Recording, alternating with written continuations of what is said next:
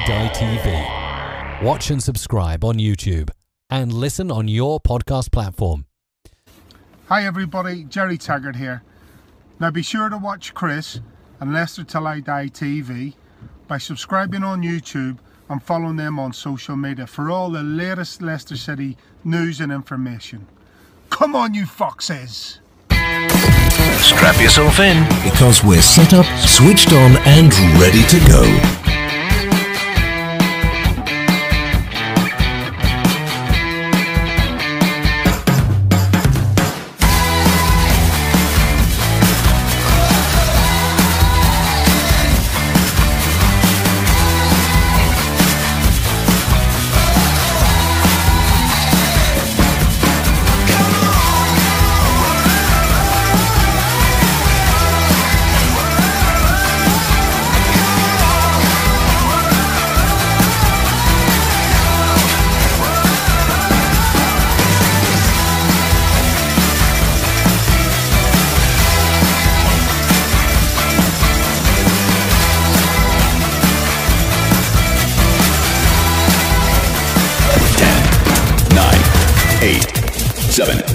Six, five, four, three, two, one.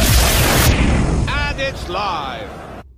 G'day everyone, welcome to the Leicester Till I Die Transfer Show. In today's episode we'll be looking at Ryan Bertrand. So Ryan Bertrand, he's a 31 year old left back and he's currently a free agent at the moment. He was previously at Southampton for a few years and his contract ended yesterday or the day before and now he's a free agent. So obviously as a free agent we won't have to pay any transfer fee which obviously is great, you know, so we'll just have to be the wages we are worried about and I haven't got found an exact figure of his wages but they're nothing excessive. It's like a fairly standard Premier League wage, so definitely won't be breaking the bank if we sign him, which is looking fairly likely at the moment. So we've been linked to him for either a one or two year deal. There's been mixed reports. Originally, it looked like he wanted a two year deal and the club wanted a one year deal. and Now it looks like it, either of them have compromised. I'm not sure which one it's going to be, but basically he's going to be brought in more as a squad player by the looks of it. So originally, when I first heard the reports, this was a couple of months ago. I didn't think much of it, and I was sort of mixed feelings of it. I thought, you know, he might not be the best signing we should go for. He's not gonna, you know, necessarily take us to the next level, but we don't necessarily, I guess, need a player that's going to do that because we've got good players in that position already. Like we've got Castagne, James Justin, and Luke Thomas who can all play that position and they're all very good at that. We just need someone who can fill in when we do get injuries towards the back half of the season, as well as fill in when we do have the congested fixture slot with the Europa League week in, week out. So defensively, he's solid. You know, he's gets the job done. He's nothing amazing, but he's not poor either. Like he gets the job done and very handy to have. Like obviously, he'll provide great experience, particularly for like the younger guys like JJ and Luke Thomas, who are both coming up through the ranks, and to have someone with his experience, who's played at the Premier League and for many years, would be great.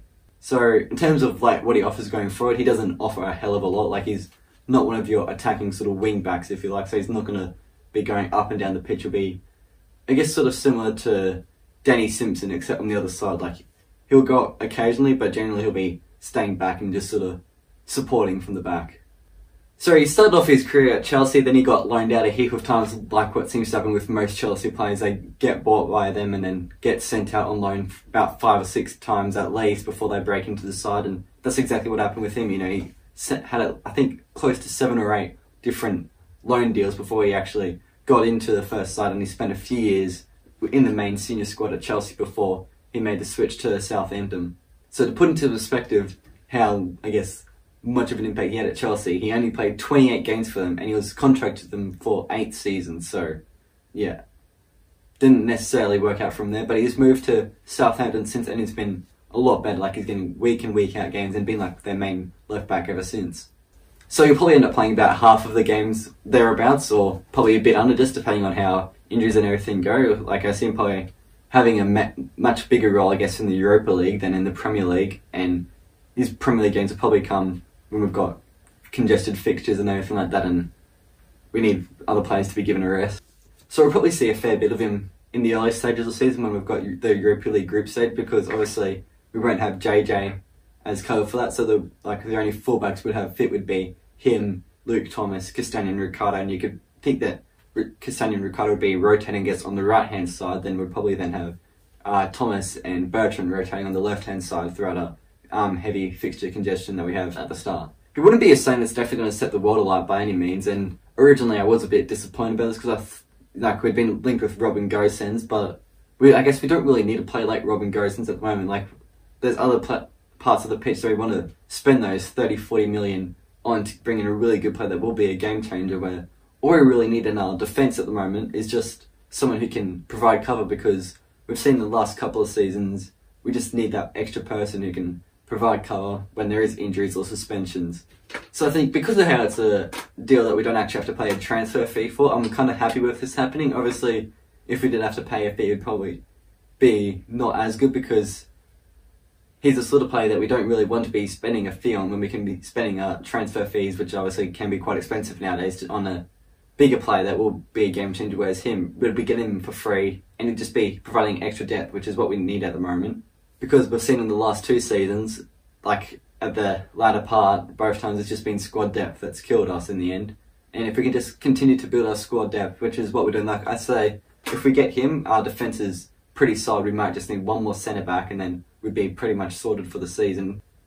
So he's a really good signing to actually make on a free. I mean, he is obviously 32 in a month or two, but I mean, you look at him now, he's still a starter for probably most sides in the Prem, aside from maybe maybe the top six or seven teams. Other than that, he'd be a starter for most sides. So he's got definitely got some great ability to him, and he'd be a great to have around the club, I'd say. Hello, Matt Elliott here.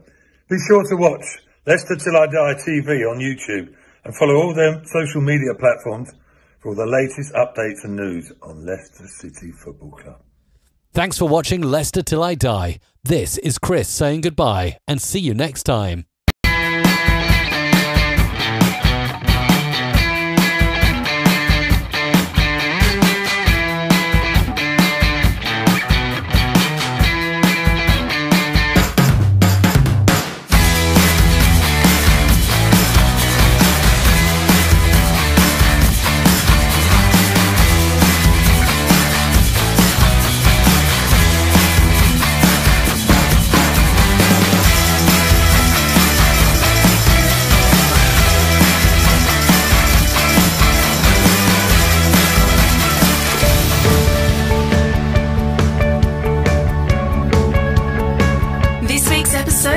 Come to an end. But the fun doesn't have to stop here. If you have any questions, suggestions, or feedback, head over right now to Twitter and Facebook and like, share, and get involved. Join us next time